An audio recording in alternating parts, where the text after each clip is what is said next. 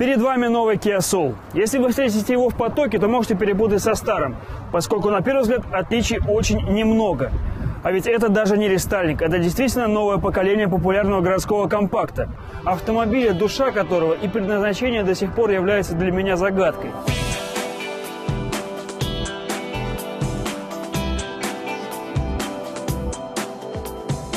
Я не знаю, к какому автомобильному классу отнести Kia Soul. Мне не очень понятна его популярность в Америке у нас и не очень высокая популярность в Европе. И, наконец, последней каплей стало то, что Kia Soul совсем недавно получил высшую дизайнерскую награду Red Dot.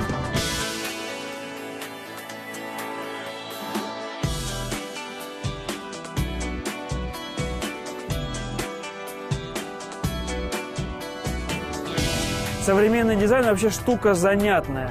А, Вот сейчас мы поедем в место, которое, ну, это не совсем дизайн, скорее архитектура. А, Тем не менее, если вы наберете в поисковике фразу «современный дизайн и архитектура», то это место будет где-то ну, в первом десятке ссылок. А, Здесь недалеко, всего несколько километров по шоссе.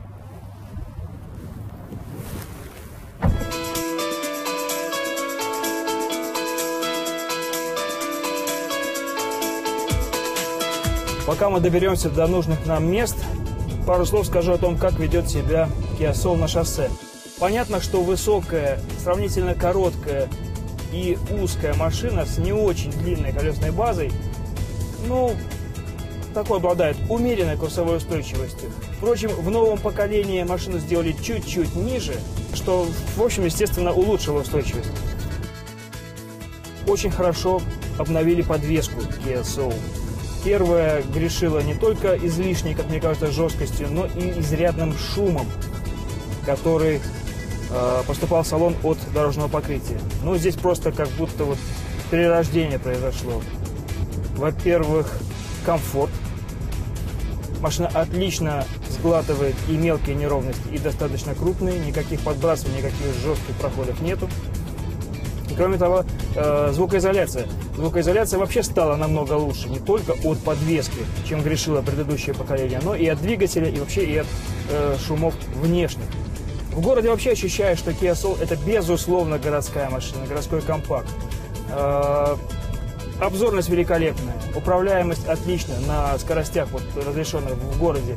Э, Динамика, конечно же, не очень хороша. 120 сил и 1.6 мотор для этой машины маловато. Вот хорошо бы, если бы у нас продавался двухлитровый, но пока об этом разговора не идет.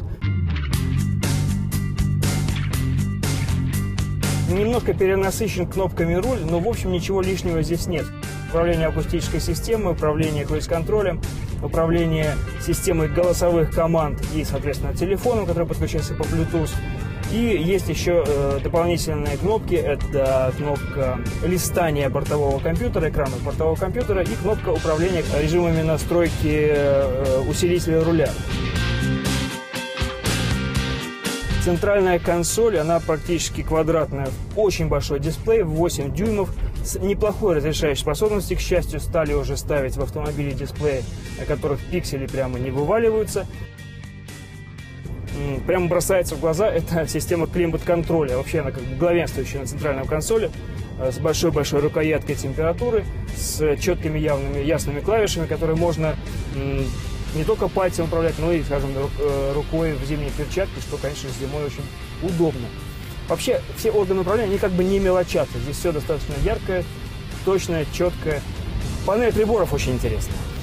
Интересна она тем, что две стандартные шкалы приятной э, бело-лунной подсветкой красными с такого под спорт немножко э, стрелками разделены достаточно большим дисплеем. Я думаю, что как минимум здесь 3,5 дюйма этот дисплейчик.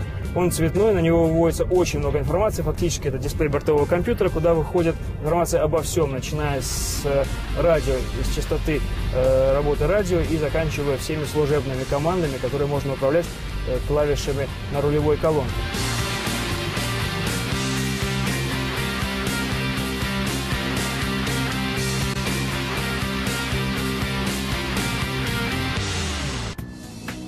Ну вот, как я и обещал, мы приехали в место, где можно посмотреть на один из образцов современного дизайна, современной архитектуры. Вот это здание у меня за спиной, это, по сути дела, местный клуб, ну или, если угодно, современный культурный центр.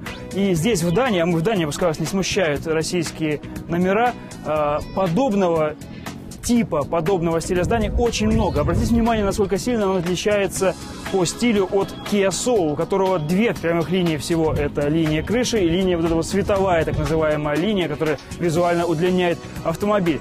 Но современный, современный дизайн – это не единственное, что есть в Дании где история современной живут, ну, буквально стена в стену. Вот за моим плечом, всего в каких-то 500 метров от современного здания, замок.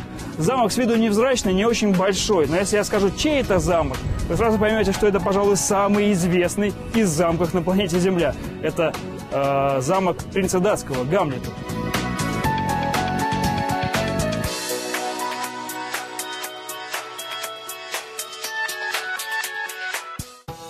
Kia Soul второго поколения очень небольшой автомобиль, тем не менее его длина превышает 4 метра и составляет 4140 мм, ширина 1800 мм, высота 1605, колесная база 2570 мм, дорожный просвет около 150 мм, объем багажника в зависимости от положения спинок сидений от 354 до 686 литров. Двигатель четырехцилиндровый, 1,6 литра одинаковый объем для бензина и для дизеля, мощность, соответственно, 124 лошадиные силы бензина и 128 сил у дизельного мотора. Расход топлива приблизительно 7,9 литра на 100 километров, разгон в лучшем случае 11,3 секунды до 100 километров в час.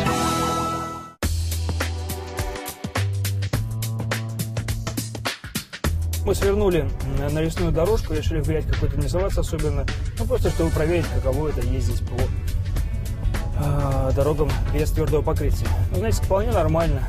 Э, пару кусочков грязи было, противосрочное сработало, никаких особенных ощущений нет. Если будет э, цепи, то вполне можно будет проехать там, где не очень э, чистая дорога. Но Kia Soul на цепях в грязи – это, конечно, крайность. Понятно, что ходовая часть не рассчитана на большие нагрузки. По сути дела, платформа здесь Kia Ceed, обычные легковушки. Ну и из этого нужно исходить. Тем не менее, ну, нормальное ощущение. Вполне можно ездить по лесным, по проселочным дорогам, никаких проблем с этим нет.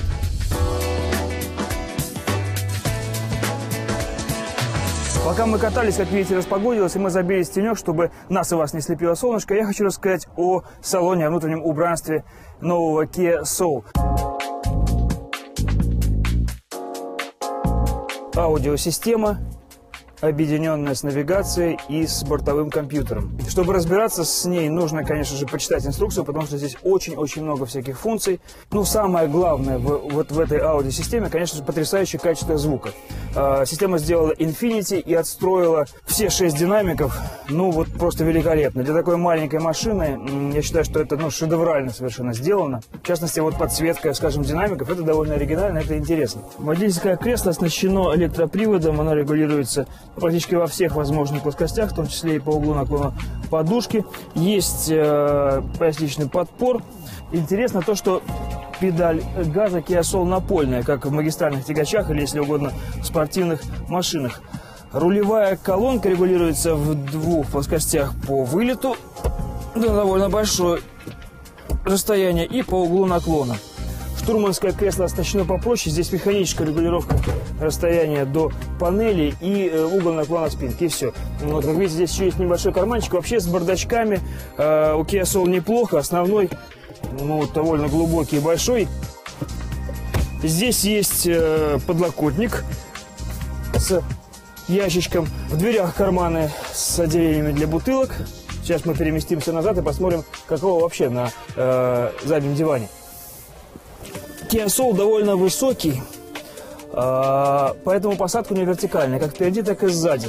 За счет этого, в общем-то, и получается достаточно большое пространство. И, скажем, я сам за собой, как видите, могу сесть, ну, с относительным комфортом. С относительным, потому что я все-таки чуть-чуть упираюсь коленками в спинку переднего сиденья, ну, совсем чуть-чуть. И из-за панорамной крыши я еще касаюсь и макушкой потолка. Не очень сильно, но все-таки ну, довольно неприятно. Я полагаю, что у машин без вот этой вот накрышной системы э, пространство над головой будет чуть-чуть побольше. Прежде чем мы заглянем внутрь, хочу обратить внимание на две детали интересные. Это вот эта вот называемая летящая панель, э, новое дизайнерское решение для Kia Soul. Ну и вы камера заднего вида, вот она на такой э, своеобразной пирамидке устроена. Дверь по-прежнему скрывается от самого багажника до самого верха. Поднимается довольно высоко, ну так, умеренно высоко. Высота проема сантиметров 80, ширина где-то около метра. Погрузочная высота, как видите, довольно большая. А, но сам багажник, ну, невероятно мал. Его немножко увеличили на несколько литров буквально, и здесь теперь примерно, ну, 345, если я не ошибаюсь, литров объема. А, правда, он немножко трансформируем. Вот этот пол можно вынуть, правда, не так просто это сделать, поскольку он здесь, в общем, занимает все пространство. И достать еще и вот такой вот ванну позволения сказать, из пенопласта. И тогда у нас откроется доступ к докатке. И кроме того, мы можем просто объем вот по вертикали багажника увеличить, ну, заметно, я думаю, что литров на 40. Диван тоже можно трансформировать, но, впрочем, это слишком громкое слово. Э, можем просто откинуть спинку вперед. К сожалению, подушка уже не складывается. То есть то, что называется книжкой, не получится сделать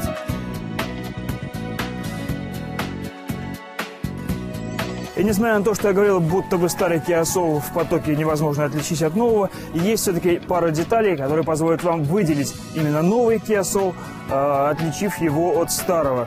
Это прежде всего вот эта вот маска бампера, с э, характерными такими вот ячейками фальшишетки радиатора. И э, вот эта панель, которая официально называется улыбка тигра, неофициально шутя называют носом тигра. Ну, честно говоря, здесь, собственно говоря, все. Противотуманки, фары, все это примерно похоже на то, что было в прежнем Kia Soul.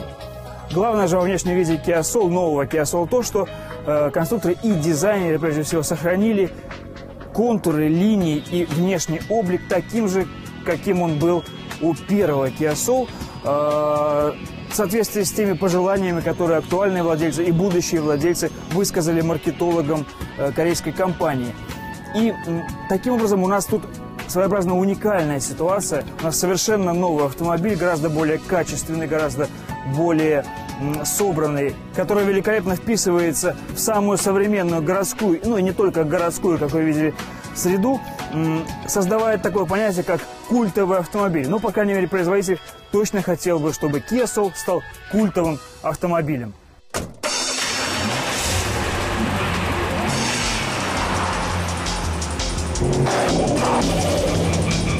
Thank